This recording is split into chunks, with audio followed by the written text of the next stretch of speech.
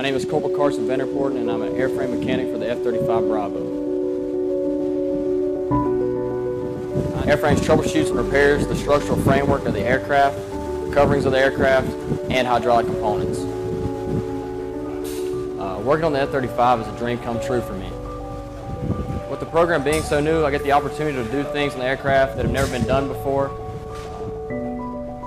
I enjoy being a part of a group of Marines that are building the foundation for future Marines that will work on the F-35 Bravo.